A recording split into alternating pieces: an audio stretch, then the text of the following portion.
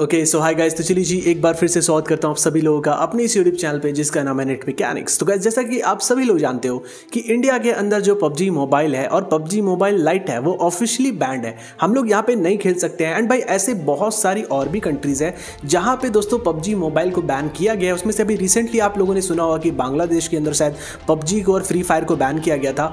और ऐसे और भी कई सारी कंट्रीज़ जैसे पाकिस्तान के अंदर भी अभी आप लोगों ने सुना होगा कि भाई बैन किया गया था। उसके बाद दोस्तों ना अनबैन कर दिया गया गेम को। और वहाँ पे दोस्तों बताया जा रहा था रीज़न ये था कि पबजी ना वहाँ पे ऑफिशियली रजिस्टर्ड वगैरह नहीं थी।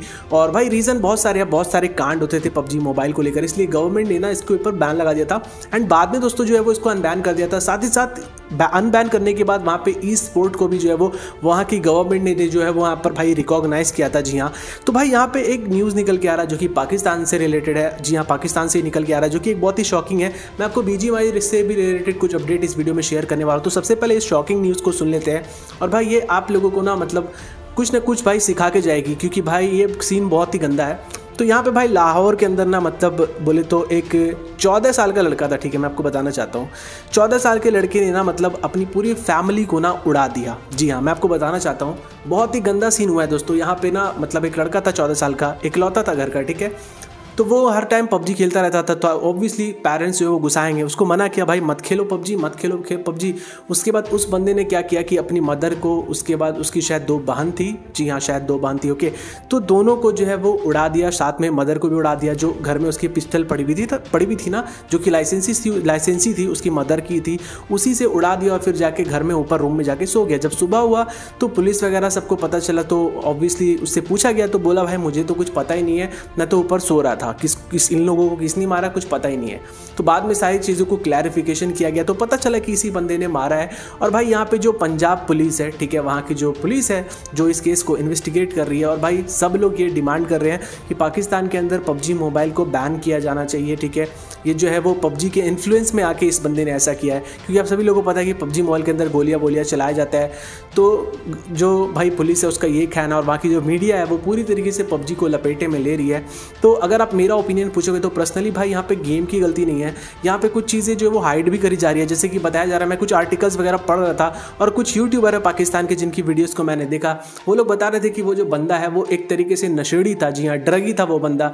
नशा वगैरह भी करता था। तो इन शॉर्ट बोलूँ तो भाई पाकिस्तान के काफ़ी सारे क्रिएटर का ये कहना है कि वो जो बंदा है भाई वो एक तरीके से मेंटली सिक था। मतलब भाई दिमागी जो संतुलन था उसका हिला हुआ था। इस वजह से उसने अपने जो है वो पूरे फैमिली को उड़ाया है। इसमें पबजी की कोई भी गलती नहीं है। तो पबजी को बैन नहीं करो, ठीक है? तो इसका सॉल्यूशन बैन नहीं है। एंड मेरे हिसाब से भी दोस्तों यही होना चाहिए कि भाई ऑब्वियसली वो नशेड़ी था, नशे में रहता था ड्रगी था तो ऑब्वियसली इस वजह से उसने पता नहीं क्यों उड़ाया, लेकिन बीच में जो है वो पबजी फंस रहा है और पबजी का इन्फ्लुएंस यहाँ पर शामिल किया जा रहा है। जी हाँ। तो यहाँ पे और भी काफ़ी सारी डिटेल है जो यहाँ पर मैं आपको देना चाहता हूँ। जैसे कि दोस्तों यहाँ पे जो वहाँ पुलिस वगैरह भाई, उसने कुछ डिटेल वगैरह शेयर किया है और वो ये है कि भाई यहाँ पे जो वर्ल्थ हेल्थ ऑर्गेनाइजेशन है डब्ल्यू एच ओ है, वो जो भाई गेमिंग डिसऑर्डर है, उसको एक तरीके से ना मतलब एक डिसीज डिज़ीज़ बताया जी हाँ।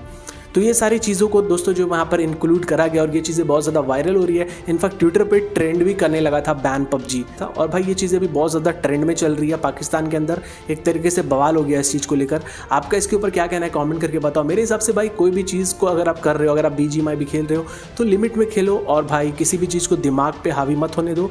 और भाई जो आपके पेरेंट्स कहते हैं, उसको मानो और भाई एक टाइम सेट करो, ठीक है? एक घंटा, दो घंटा खेलो भाई, दिन भर ही मत लगे रहो। पबजी सब कुछ नहीं है। हालाँकि काफ़ी सारे लोगों ने इसके ऊपर करियर बनाया पबजी को लेकर, लेकिन भाई अगर आप ज़्यादा ही कुछ लोग हैं ना दिमाग पे तो वो गलत इम्पैक्ट आपके माइंड पे डालेगा। तो ज़्यादा मत खेलो, कोई भी चीज़ करो लिमिट में करो। मेरा आपको यही कहना है, ठीक है? तो आपका इसके बारे में जो भी कहना है भाई, आप मेरे को बता देना, ठीक है?